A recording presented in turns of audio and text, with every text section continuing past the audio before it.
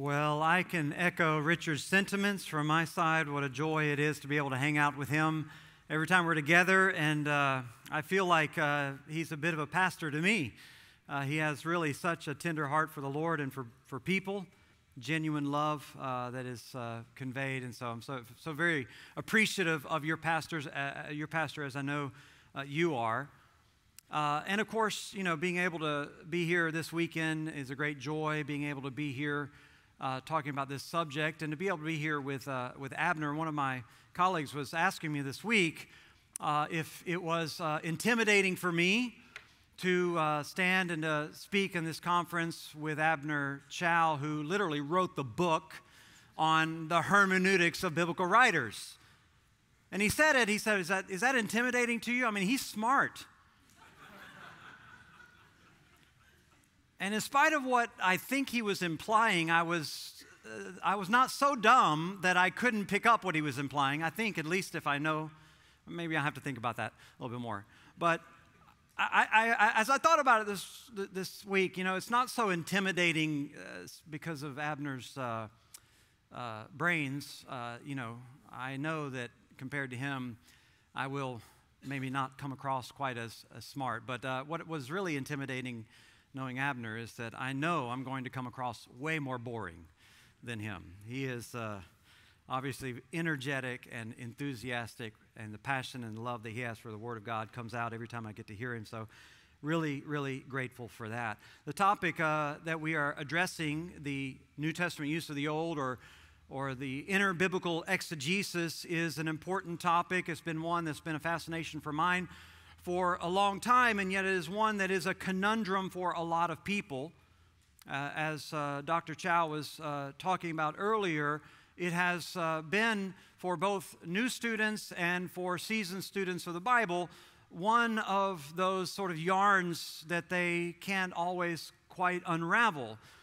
They look at the way that some of the Old Testament passages are quoted in the New Testament and they scratched their head about whether they could ever have seen the same thing that these biblical writers saw, or if they could have come to the same conclusion.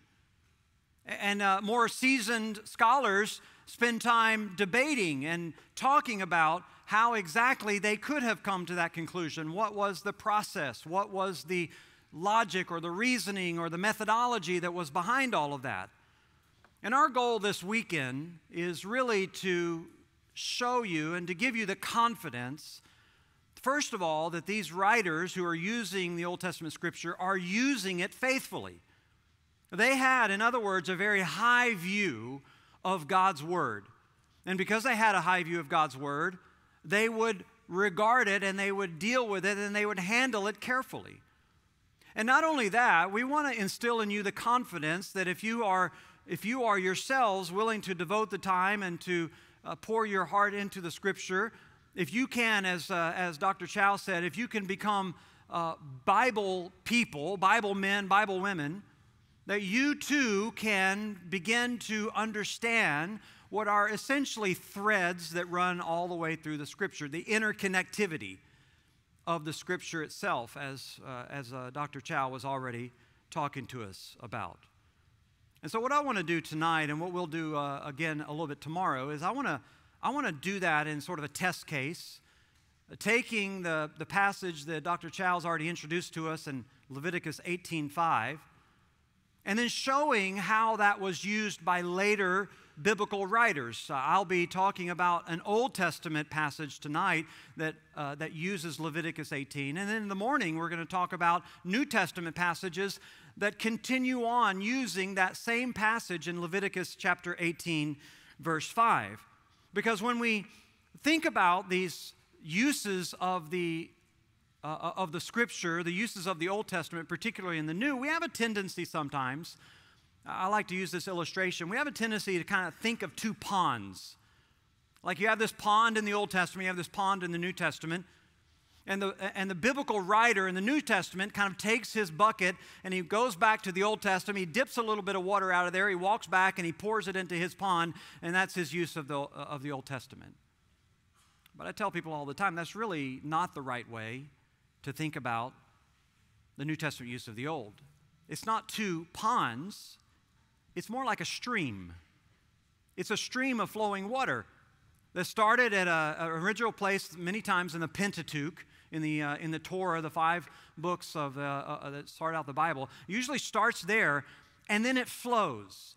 And it flows and it twists and it turns through many other places throughout the passages of Scripture, sometimes along the way, even picking up some sediment, uh, some, some additional minerals that are, that are embedded in the water before it finally arrives at the New Testament when all of that refreshing uh, sort of stream and, and, and all the richness of the minerals that have been accumulated in it are then unpacked for us with glorious insight. And many times that stream, as we look into the scripture, in fact, I would probably say most of the time, it involves a, a, a passage or a concept or a theological theme that begins in the writings of Moses, it begins in the Pentateuch, and then it is taken up later by the prophets. It's actually the prophets who were the first sort of exegetes or interpreters of the Old Testament. They were interpreting Moses, they were interpreting the Pentateuch. And sometimes we see it in other passages, the wisdom literature, the Psalms, and other places like that. But more often than not, it happens from Pentateuch to prophet, then finally to the New Testament. And there's no really better place for us to uh, sort of see that than by tracing this particular theme of Levit- Leviticus 18 and, and tonight uh, turning our attention to a passage which quotes it. There are a couple in the Old Testament actually, but tonight we're going to turn our attention to Ezekiel chapter 20. And I, I don't know, uh, in, in, in Dr. Chou's you know, words, he, he sort of outed us all in our unfamiliarity of Leviticus. Well, I'm one of those people that gave up uh, early on in my Christian reading whenever I came to Leviticus. And I, so I certainly n- never made it to Ezekiel. And uh, I don't know if you're any more familiar with this book, but it is, in some cases, a mystery for a lot of people. It has a lot of sort of strange visions and all kinds of spinning things that are going on throughout the book but we're not going to we're not going to dive into those early chapters and some of those strange visions. We're going to go to chapter 20 and to what is a very straightforward sort of expression of, of theology and of exegesis of the Old Testament, Ezekiel is taking what was essentially the message that he read in the Torah, in the Pentateuch, and he begins to apply it and to expound it and to uh, use it to illustrate what was going on in his own day. He begins in chapter 20 by telling us the occasion for this particular prophecy, this prophecy that's contained in chapter 20. Ezekiel had several prophecies, but he's telling us about this one. He was a prophet in exile in Babylon. This was, of course, after Israel had been conquered by Nebuchadnezzar and carried away into exile. That happened, you may remember, through a series of deportations. One of them took place in uh, 605, and then it was followed by one in 597, and then eventually 586 when they came in and completely decimated the entire city, broke down the temple, tore down the walls, moved every stone off of the others, and left it like a absolute sort of field. But Ezekiel is writing to us sometime between that first deportation and that final decimation of the city of Jerusalem. He's writing to us, he tells us in Ezekiel 20, verse 1, in the seventh year which would be the seventh year of his exile, in the fifth month on the tenth day of the month. Now, Ezekiel was one of the ones who was deported in 597. So, the seventh year, you do a little bit of math and you put together the month and the, the day and the Jewish calendar with our uh, calendar, and you basically arrive at August of 591 when he's writing this. And he tells us that in this particular season, uh, before the, the final destruction of Jerusalem, he tells us that certain elders of Israel came to inquire of the Lord and sat before him. Now, he doesn't tell us why they came to inquire of the Lord, but given the date, it's not hard to guess what was on their mind because back in the land of Israel, there had been a client king who was installed by Nebuchadnezzar, a man named Zedekiah. And Zedekiah had established diplomatic relations with Egypt. And he had begun to form an alliance with Egypt by which he was hoping to break away from his, his uh, uh, if you will, occupation or at least domination by, by Babylon. And so it makes sense that these guys had caught wind of the plot. And so they were coming to the prophet wanting to know is it going to be successful? Is it going to be successful? Well, the Lord's answer here in verse 3 of Ezekiel 20 is pretty clear. Is it to inquire of me that you've come? As I live, declares the Lord God, I will not be inquired by you. I'm not going to answer. I'm not going to play your games. I'm not going to pretend like somehow you're sincerely interested to know what my plan or my will is because you really haven't shown that interest in the past. I'm not going to cast my pearls before the swine, if you will. And beginning in verse 4, he launches into an explanation of why he's not going to answer them. Why he, he's not going to honor their request. Why he doesn't take what they're saying as a serious inquiry. And why he's not going to entertain it as such. And his explanation basically takes up the, the, the bulk, of almost all the rest of the chapter, and is formulated in a series of subunits or cycles different cycles that really represent different seasons of Israel's history, and all the cycles following the same basic pattern, recounting some blessing that God gave to Israel. And then, secondly, recounting how Israel rebelled against the Lord in spite of it.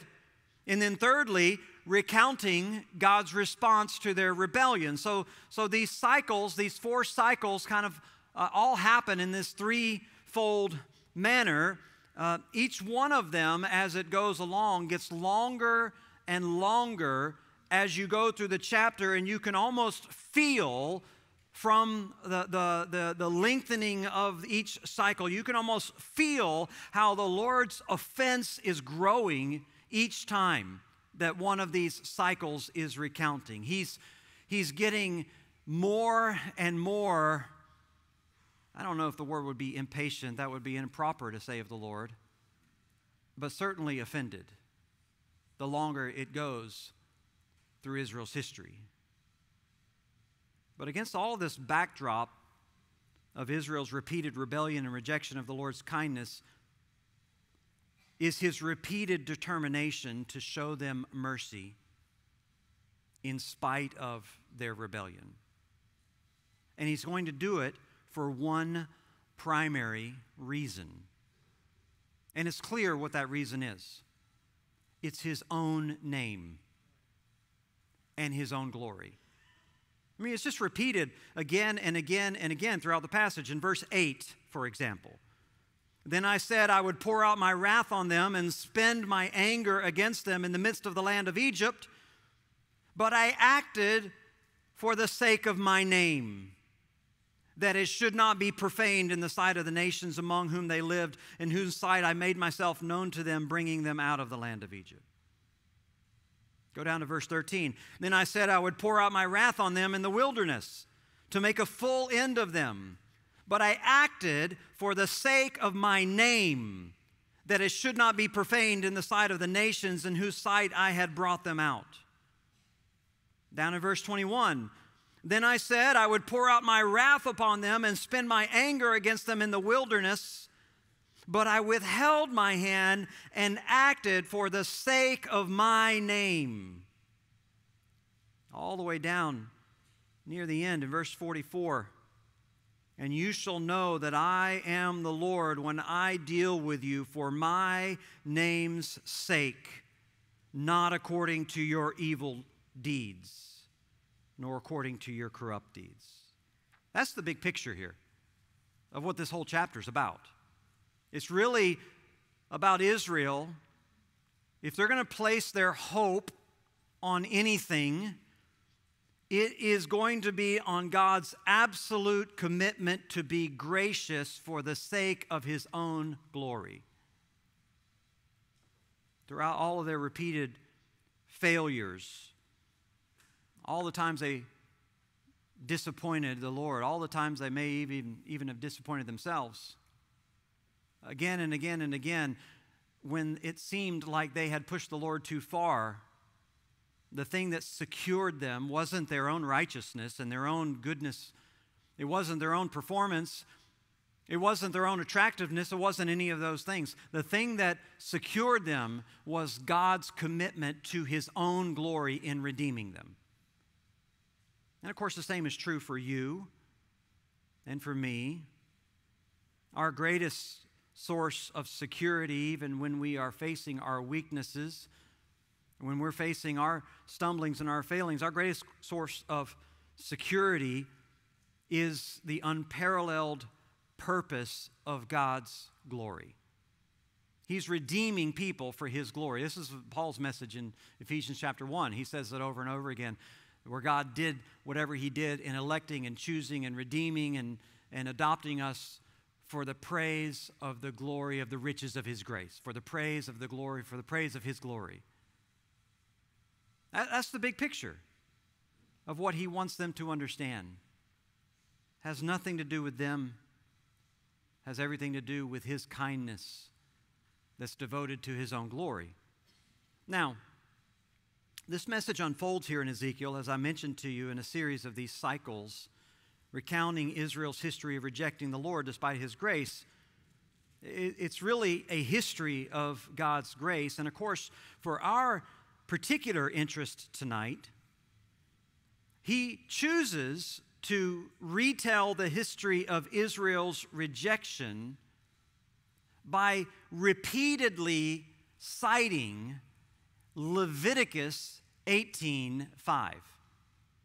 He, repeat, he repeats it a number of times throughout these, these cycles, as we will see. But it becomes very clear that all these hundreds of years after Moses wrote Leviticus, after all those, all the time has passed, that this was, uh, first of all, a man who was steeped in the Word of God. He didn't stop when he got to Leviticus, but he read it and he read it over and over and over again, and he got the message the message of God's holiness and the message of the consequences when you violate that. So, what I want to do is to walk through these cycles really quickly tonight so that you can begin to understand how a biblical writer took a previous passage and applied it and used it from, a, from an interpretive standpoint, a hermeneutical standpoint. And we can begin in verse 4 with the first of these cycles, which uh, I, I, call uh, their rebellion despite the election of Israel. Rebellion despite the election of Israel. This is what the Lord says Will you judge them, Son of Man? Will you judge them? Let them know the abominations of their fathers, and say to them, Thus says the Lord God, on the day that I chose Israel, I swore to the offspring of the house of Jacob, making myself known to them in the land of Egypt. I swore to them, saying, I am the Lord your God. On that day, I swore to them that I would bring them up out of the land of Egypt into a land uh, that I had searched out for them, a land flowing with milk and honey, and the most glorious of all lands. And I said to them, Cast away the detestable things your, uh, your eyes feast on, every one of you. Do not defile yourselves with the idols of Egypt. I am the Lord your God. But they rebelled against me and were not willing to listen to me. None of them cast away the detestable things their eyes feasted on, nor did they forsake the idols of Egypt. Then I said, I will pour out my wrath on them and spend my anger against them in the midst of the land of Egypt. But I acted for the sake of my name, that I should not be profaned in the sight of the nations among whom they lived, in whose sight I made myself known to them in bringing them out of the land of Egypt. Here we see this first cycle of God's blessing, and then Israel's rejection, and then God's response of mercy for his name's sake. He begins by calling for an evaluation, a judgment. uh, for them, for, for Ezekiel, and, and, and really for them to judge their own behavior in light of his blessing, beginning all the way back when God first called them as a nation out of Egypt. He recalls how he chose them, he elected them, Bahori. Dr. Marshall can correct my pronunciation afterward. It's my best stab at the Hebrew. He chose them. He elected them. That, that's the idea of God's loving and gracious selection of them. It becomes the foundation of all the other actions and responses of the Lord because he sovereignly chose Israel apart from every other Gentile nation. He selected the Israelite people apart from all the Gentiles. And he set his special love and his special purpose on them. This harkens back, of course, to Deuteronomy chapter 7, where it says, The Lord your God has chosen you to be a people for his treasured possession out of all the peoples who are on the face of the earth. And it's not because you were more in number than any other people that the Lord set his love on you or chose you, for you are the fewest of all peoples, but it's because the Lord loves you. So he set his love on them as an act of his own initiative, his own electing sovereign choice. In fact, here in Ezekiel 20, the Lord repeats three times how he swore, literally, I raised my hand, in the sense that he took an oath. He took an oath and committed himself three times. First of all, that he elected them to be his special people and he would be their God. Secondly, he swore that he would reveal himself to them. And thirdly, he swore that he would bring them out of the land into a land he had selected for them. When God set his electing love on the Jewish people apart from all the Gentiles on the face of the earth, he was putting his name on the line. This was now an issue of his glory regarding whether or not this election of the Jewish people would falter. How he was going to deal with them uniquely and differently from the way he dealt with the Gentile nations. He was putting his name on the line when it came to that issue. That establishes the, the first part of this cycle, this element of God's blessing. And then we see the second part, which was Israel's rejection. He says, Then I told you to cast away, or I said to them to cast away the detestable things in verse 7 that your eyes feast on, every one of you. Don't defile yourself with the idols of Egypt. I am the Lord.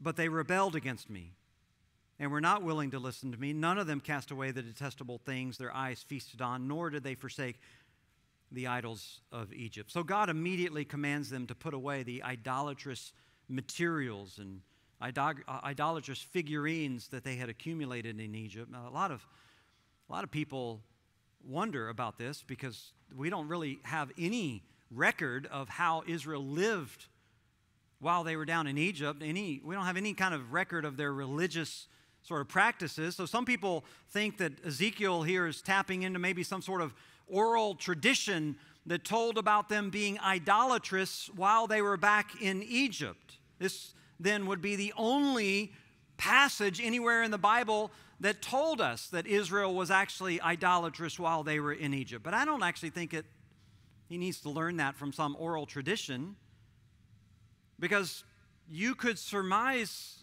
that or you could come to that conclusion pretty easily by just seeing how rapidly they fell into idolatry the moment the Lord brought them out of Egypt at the foot of Mount Sinai when they defiled themselves with the idols of Egypt. I mean, that's not a, it's not a hard conclusion. I remember when I was a missionary in China, and uh, I used to, I used to get care packages in these little boxes that came from friends, and uh, sometimes they would be open, and sometimes people would have stolen the things by the time I got home. And I remember one time I came home, and uh, my, I, my box was open, and I was just upset. And I knew that it was my Russian roommate, another teacher who was there teaching from Russian. I went to him and I said, Sasha, did you open up my care package? And he just kind of sort of backed up. He's like, Look, I didn't, I didn't touch your chocolates.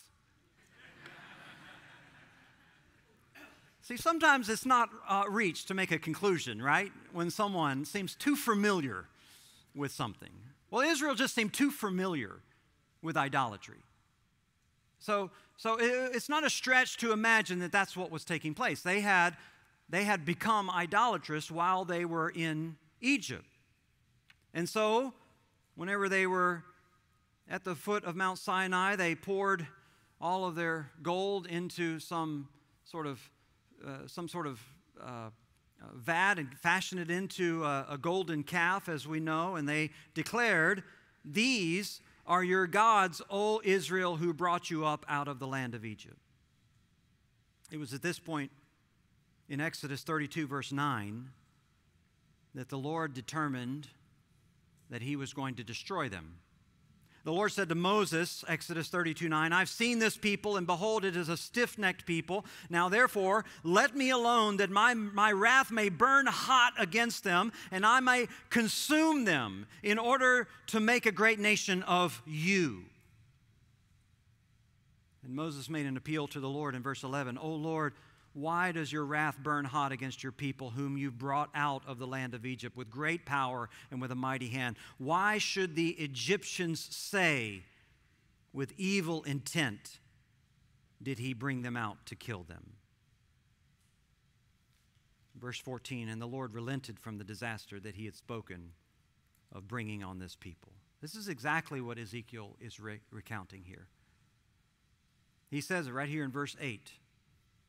Then I said, I would pour out my wrath on them, I would spend my anger against them. In verse 9, but I acted for the sake of my name. And Moses made this appeal, and he made it on the basis of God's name. God, if you did this, the people in Egypt, what are they going to say?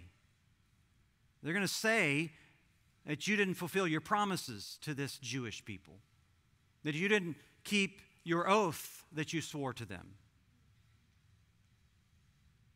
That kind of completes the threefold cycle God's blessing and electing Israel, Israel's rebellion against God, and then God, in his mercy, not utterly destroying them. But in terms of the Old Testament use of the Old, we already see here Ezekiel using previous portions of the Old Testament, the Pentateuch, in what we can say is just a very straightforward manner. We might even say he's using it illustratively. He's using it to illustrate a point, but I think it would be better to say he's using it theologically to show the hardness of Israel's heart and depravity from the very beginning. In fact, this is exactly the way Moses intended it to be used. Because when Moses wrote the book of Exodus, he didn't write it simply or merely as a history. You might read it that way, and that might be all of your fascination is putting together the historical details. But what Moses wanted you to get when you read Genesis or Exodus or even Leviticus, Numbers, or Deuteronomy, what he wanted you to get was not history, what he wanted you to get was theology. He was trying to teach you theology.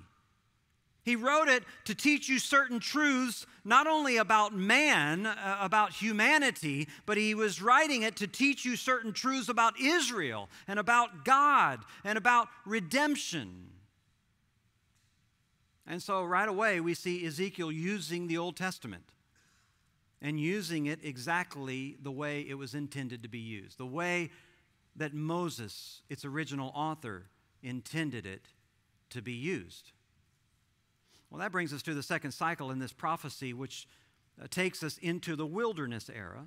And we see the sort of same thing repeated over again. Verse 10 So I led them out of the land of Egypt and brought them into the wilderness. I gave them my statutes and made known to them my rules, by which, if a person does them, he shall live. There's our quote from Leviticus 18. Moreover, I gave them my Sabbaths as a sign between me and them, that they may know that I am the Lord who sanctifies them. But the house of Israel rebelled against me in the wilderness. They did not walk in my statutes, but rejected my rules, by which, if a person does them, he shall live. And my Sabbaths they greatly profaned. Then I said, I will pour out my wrath on them in the wilderness and make a full end of them. But I acted for the sake of my name that it should not be profaned in the sight of the nations in whose sight I had brought them out. Moreover, I swore to them in the wilderness, I will not bring you into the land that I had given to them, a land flowing with milk and honey, the most glorious of all lands. because they rejected my rules and did not walk in my statutes and profaned my Sabbaths, for their hearts went after their idols. Here again, this threefold cycle God blessing, uh, blessing in the beginning, Israel rejecting, and God showing them mercy. The blessing in this particular case was the revelation of his law. He says in verse 11, I gave them my statutes and my rules. Here's our key verse. And it immediately raises the question that is asked so many times when it comes to these interconnected links in the scripture. It raises the question of how is Ezekiel using this? Is he using it faithfully? Is he using it according to its original intent, the intent of Moses? Well, I guess to some extent it depends on who you ask. And to some extent, it depends on what they think the original intent of Moses was, because probably at this point, the majority of commentators focus in on the concept of life, the comment, he shall live by them, and they immediately draw a conclusion that what Moses was talking about was a quality of life. If you do the commandments, it will yield you a kind of quality of life. And a lot of them will even cross reference other passages that talk about the law and the blessings that come from the law. For example, Joshua 1 8, this book of the law shall not depart from your mouth, but you will meditate on it day and night, so that you'll be careful to do all that's written in it. For then it will, I will make your way prosperous, and you'll have good success. So if you do the commandments, you'll have a quality of life, a kind of prosperity of life. Or they'll cite Deuteronomy 4. Therefore, you shall keep his statutes and his commandments, which I command you today, that it may go well with you and with your children after you. So, again, the idea is prosperity. And they would say that Ezekiel was tapping into this basic idea, using the passage to talk about walking in the blessings of the law, but Israel was just missing the blessings. But of course, the problem with all of that is that Joshua 1 8 or Deuteronomy 4, while they talk about the law, they're missing a key word live, which Dr. Chou helped us to understand doesn't talk about quality of life, it talks about survival. That's its basic meaning. In fact, I read uh, one writer uh, this week that said, I think it was in all 729 uses of the Hebrew word hayah, it always has that in that sense. Live versus dying, survival in its broadest sense. I don't know if I would say all of them, but certainly, certainly in the Pentateuch, that seems to be far and away the predominant meaning. You may have some meanings in the wisdom literature later that talk about quality, but in the Pentateuch, this is all about survival. I, I think it's easily demonstrated in just one passage in Exodus chapter 1, verse 16, when the king of Egypt said to the midwives, When you serve as a midwife to the Hebrew women and see them on the birth stool, if it's a son, you shall kill him, but if it's a daughter, she shall live. But the midwives feared God and did not do as the king of Egypt commanded them, but let the male children live. That's the way you normally find the word used. It's a contrast. You either live or you die. You either live or you die. It's not to say that there aren't blessings for keeping the law, and there are passages that talk about that, but this passage, as Dr. Chou showed us, Leviticus 18, is an imperative that you must keep the law if you have any hope of surviving. And this is the point that Ezekiel's bringing out. He, this is what he finds in Leviticus. The Lord blesses Israel with the revelation of his statutes, uh, as uh, Dr. Chou uh, talked to us about, the rules, the sort of boundaries, and his judgments, his mishpat, which are these legal decisions, which in many cases are legal decisions involving the death penalty. So, even in the terminology that he uses for the law, there's this focus on contrast between life and death. Life and death. Obeying God's law allows you to survive, disobeying it, you face the penalty of death. And Moses actually put this before Israel in Deuteronomy 30 I call heaven and earth to witness against you today. I've set before you life and death, blessing and curse. Therefore, choose life so that you and your offspring may live.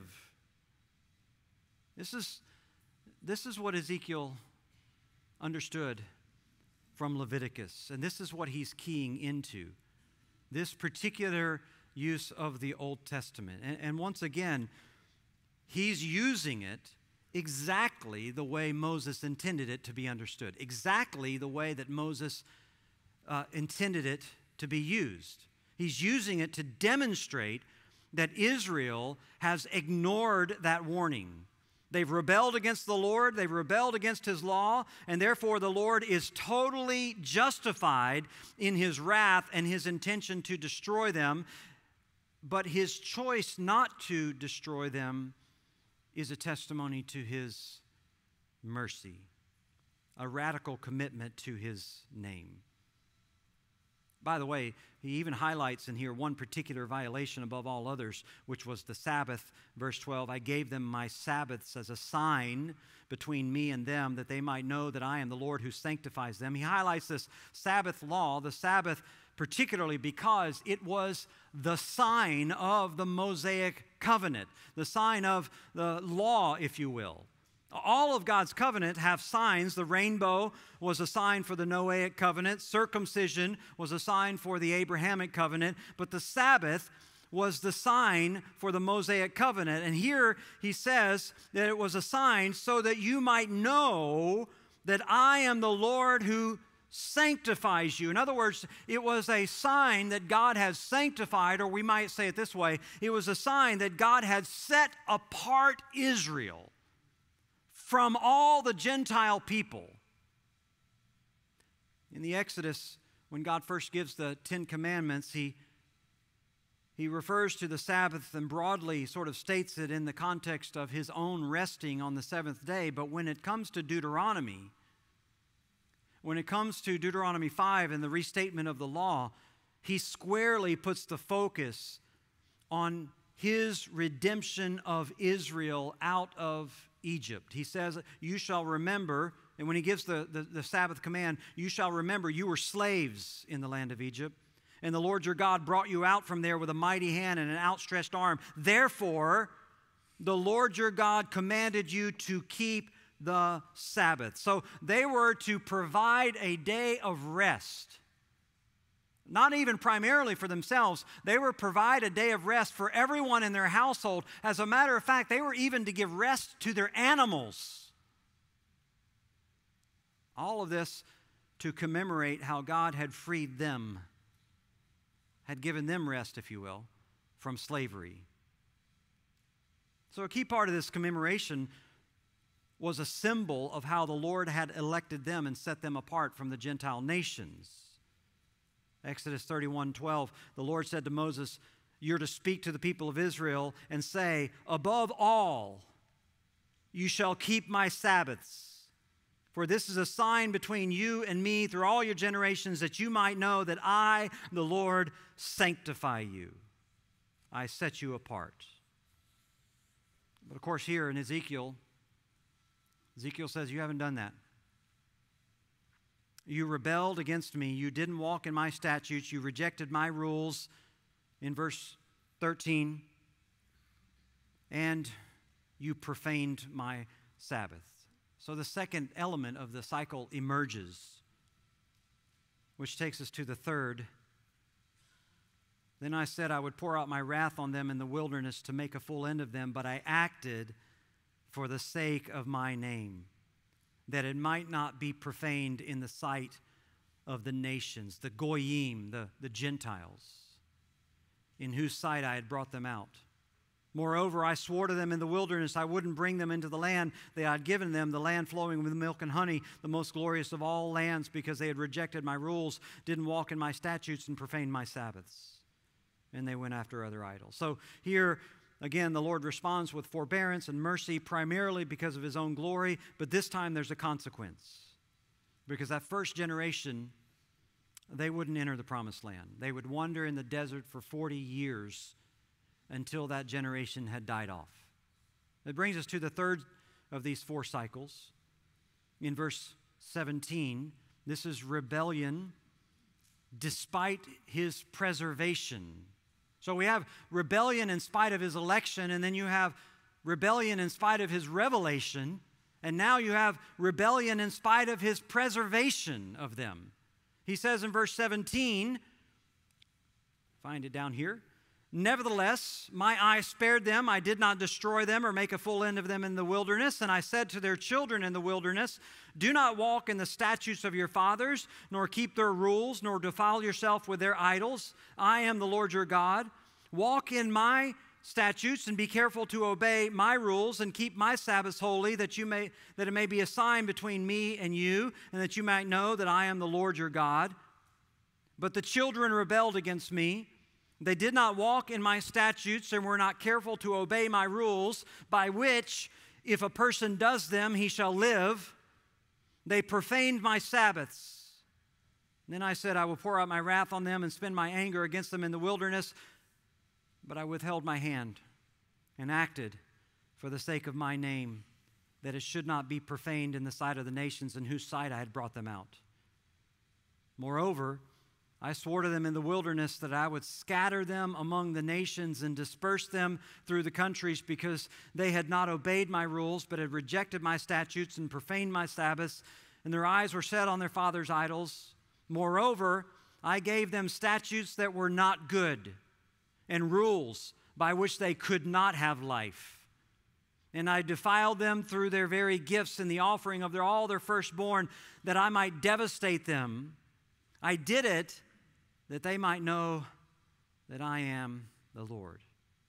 We can actually move a little quicker here because the whole cycle is becoming familiar to us. He blesses them by not making a full end of them. That is to say, He preserves them there in verse uh, 17. He even provided food for them, uh, manna through all those years. He provided that for 40 years of wandering, their clothes didn't wear out and their sandals didn't fall off their feet. My wife's always throwing my shoes out after five years. You know, I don't I couldn't get 40 out of them, but he, he gave them 40 years in those same shoes. And he reminds them of the warnings that he had given to previous generations. But the cycle moves to the second phase nonetheless. In verse 21, they rebelled against me and they did not walk in my statutes. They weren't careful to obey my rules, by which if a person does them, he shall live. Once again, he reminds them of the uh, principle of the law of Leviticus 18:5 that by right of judgment they should have died. By right of judgment they should not have survived. But we see the third part of the cycle. I said I would pour out my wrath in verse 21. I would spend my anger, but I withheld my hand. I acted for the sake of my name that it would not be profaned in the sight of the nations in whose sight I brought them out. Once again, the Lord is committed to his glory. We're thankful for that. in the days that we don't have the power to carry on, when we feel like we, in our own strength, would, would throw in the towel, give up on this Christian walk we're reminded that the Lord's name is so precious to him, he will not allow that. He will not allow any of us to be lost. He won't allow it because his own glory and his own name is on the line. And he's telling Israel, I'm not going to allow it with you. But the consequences of their ongoing rebellion were getting worse the discipline of the Lord was being inflicted on the nation. Because at this point in verse 23, he'll scatter them among the nations and disperse them through the countries. By the way, this is while they're still in the wilderness. He wouldn't scatter them for literally centuries. Almost 700 years later, But Moses had already warned about it even while they were still in the wilderness. He told them in Deuteronomy 28 the Lord will scatter you among all the peoples from one end of the earth to the other. There you will serve other gods of wood, which neither you nor your fathers have known. And among the nations you'll find no respite. There shall be no resting place for the sole of your feet. But the Lord will give you there a trembling heart and failing eyes and a languished soul. Even right here in Ezekiel chapter 25 says, Moreover, I gave them statutes that were not good and rules by which they could not have life. Now, this is not a quotation of Leviticus, but it's certainly an allusion. Sometimes when we talk about the Bible's use of other passages of the Bible, we mean different things. Sometimes we're talking about just the broad storylines, like Dr. Chou was introducing for us earlier today. The Bible just uses the broad storylines. Sometimes the Bible uses previous sections as direct quotations, and sometimes they are allusions. They just use similar words uh, connecting key phrases or something like that. So that's what you have going on here. But this time, he says, these are statutes that were not good and rules that could not bring life or by which you could not have life. Now, there's a lot of debate about what this means. Uh, it's the same words, the statutes and the rules that he's been talking about that he gave them back in uh, Sinai. And he even, as I said, sort of uses the terminology from Leviticus but without going into sort of all the points and counterpoints of what everyone thinks is going on here, let me just suggest to you that this is a reference to the negative consequences of the law that come after their ongoing rebellion. Very similar to what Paul says of the law in Romans chapter 7 in verse 12. He says, So the law is holy, and the commandment is holy and righteous and good and then he asks in verse 13, Did that which is good then bring death to me? By no means. It was sin producing death in me through what was good, in order that sin might be shown to be sin, and through the commandment might become sinful beyond measure. So Paul says, Look, the, the law is good, it's not not good. It's good and it's holy and it's righteous, but one, when one disobeys the law, it brings devastating consequences. Paul says it actually produces death.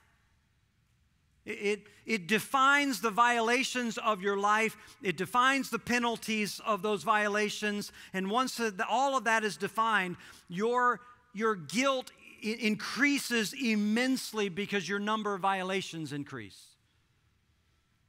You know, we have uh, in my neighborhood, like most neighborhoods, we have sort of these neighborhood streets that are paved uh, by asphalt, obviously. And I have had vehicles, various vehicles in the, in the past that uh, me or my son were tinkering on that were not street legal.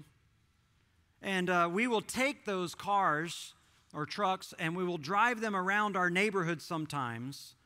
But I would never take them outside my neighborhood onto the main roads. Why?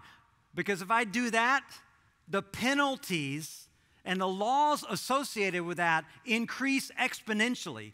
So even though I'm driving the same vehicle on similar asphalt, whenever I cross into that zone, my violations increase and I could face some stiff penalties. That's what Paul's saying. He's saying when the law came in, it just defined all these violations that I didn't even know that I had, and now they're stacking up against me, and the consequences are overwhelming me. And sin has now become much more sinful because of the law. Well, this is what God's saying His law did eventually for Israel. The result of Him giving the law in that sense was not good. It actually made them, in verse 26, more defiled. And he says it devastated them. Quickly, that brings us to the fourth cycle, which is rebellion despite provision of the land. I thought about saying rebellion despite occupation, but I thought in the current political environment, occupation wasn't the best word for Israel. So we'll, we'll, we'll stick with provision. Rebellion despite provision of the land. He says in verse 27 Therefore, Son of Man, speak to the house of Israel and say to them, Thus says the Lord, in this also your fathers blasphemed me by dealing treacherously with me. For when I brought them into the land that I swore to give them, then wherever they saw any high hill or any leafy tree, there they offered their sacrifices, and there they presented the provocation of their offerings. There they set up their pleasing aromas, and there they poured out their drink offerings, all that referring to their idolatry. I said to them, What is the high place to which you go? So its name is called Bamah to this day. Therefore, say to the house of Israel, Thus says the Lord God, Will you defile yourselves after the manner of your fathers and go whoring after their detestable things? When you present your gifts and offer up your children in the file, you defile yourselves with all your idols to this day. Shall I be inquired of by you, O house of Israel? As I live, declares the Lord, I will not be inquired by you. Now, now, we, now we get the big picture. Now we know why he's not going to answer these elders, why he's not going to entertain their inquiry. They've proven themselves to be insincere. He goes on in verse 32 What's in your mind shall never happen. The thought, let us be like the nations, like the tribes of the countries who worship wood and stone. As I live, declares the Lord, surely with a mighty hand, with an outstretched arm, and with wrath poured out, I will be king over you. I will bring you out from the peoples and gather you out of the countries where I scattered you with a mighty hand, with an outstretched arm, with wrath poured out. I will bring you into the wilderness of the peoples, and there I will enter into judgment with you face to face. As I enter into judgment with your fathers in the wilderness in the land of Egypt, so I'll enter into judgment with you, declares the Lord. I will make you pass under the rod. I will bring you into the bond of the covenant, and I will purge out the rebels from among you. Those who transgress, I will bring them out of the land where they sojourn, and, I, and they, they shall enter into the land of Egypt. Then they will know, or you will know, that I am the Lord. Again, this is this is kind of familiar territory. God blesses them this time by giving them the promised land, and yet what do they do? They rebel. They set up idols. They go on all these high hills and under these leafy trees. They actually, in verse 32, become envious of the Gentile nations and determine that they're going to be just like them. But then you see God's response, and this time it has massive consequences. First of all, his immediate response, he's not going to He's not going to respond to their inquiries. But in verse 33, he declares that he's actually going to bring them back from their current captivity and he's going to rescatter them. He says in verse 35, I will bring you into the wilderness of the peoples. And here is yet another use of the Old Testament, this time not in terms of of uh, history or illustration, not in terms of quotation or allusion, but this is what we might call typology, which is basically a fancy word for patterns. He's just saying, I'm going to repeat the pattern. Just like I sent your forefathers into a wilderness, I'm going to send you into a long season of wandering outside the promised land. But this is going to be a season of wandering that takes you into all the nations. It's not going to be defined to the Arabian Peninsula. You're going to wander all over the world. And it's going to go on and on and on and on until, verse 38, until he has purged out the rebels from among you. He's going to do all this before he finally brings them back into the land. And he's going to do it for the same reason. Down in verse 44 for his holy name. For his holy name. And of course, from our vantage point, we can see that all of this has been historically true for Israel, even up to today. Even today, they're still wondering. Even though they've reestablished a nation in the land of Canaan, They're still rebellious against the Lord. And the majority of Jews, as a matter of fact, don't even reside in the land of Israel. They're still scattered all over the world. But that's not the end. Because after these four cycles fulfill their purpose, we see finally in verses 40 through 44 restoration. Restoration despite the rejection of Israel. He says in verse 40, For on my holy mountain, the mountain height of Israel, declares the Lord, there all the house of Israel, all of them, shall serve me in the land.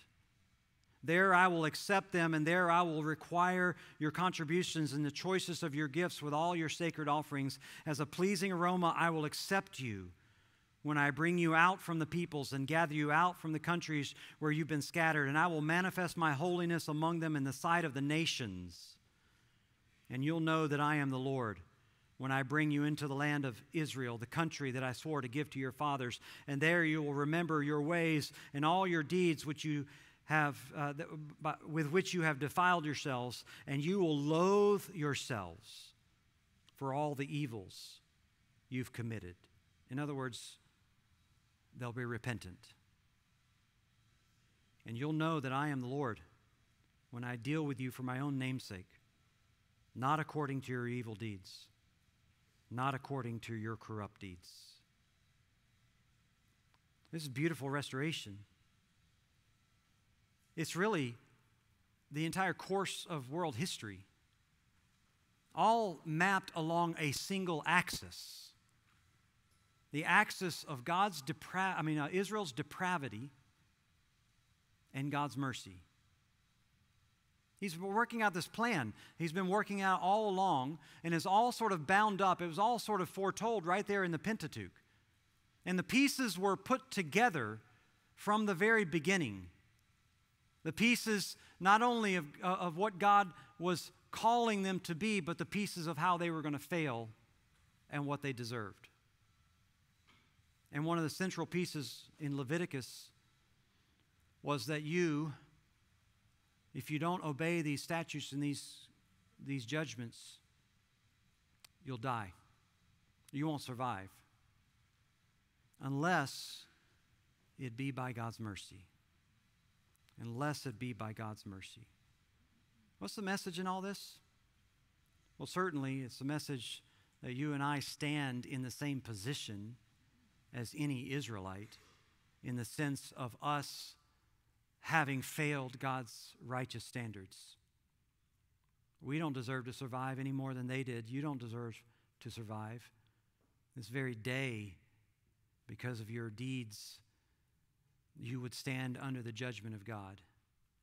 But because of his mercy and because of his commitment to his glory, he calls, he redeems and adopts, and he eventually glorifies those that he's chosen. If you're here today, I don't know where you are in your spiritual walk with the Lord, and I don't know what kind of cycles you're going through. I don't know how many times you have stumbled and fallen and disappointed the Lord and disappointed yourself. I don't know your story, but it can't be any worse than Israel's story. And I do know that if you have fallen and if you failed, and you reach out and you cling to nothing else but God's love for the praise of His glory, and you ask for God's mercy, it's there in abundance. It's there in abundance. That's the story of Scripture. It's the story of Israel, it's the story of redemption. And it's the story that the biblical writers were piecing together. We'll have a chance to see more of that in the morning. Uh, in the Sunday school hour, going into the New Testament, and even in the worship hour, we're going to come back and we're going to see that that story was the story that the biblical writers, the New Testament writers, tapped into when they preached the gospel. Let's close in a word of prayer. Father, we're thankful for this glorious message. It is something that we need to be familiar with. As the great men of old so versed in your holy word. It flowed through their veins. But with that, they saw all the glory of your working through the gospel. I pray that you would help us this weekend to see it as well, so that we, when we read, when we pray, and when we sing, that we might sing with the richness of all that you've revealed about yourself. We ask in Christ's name, amen.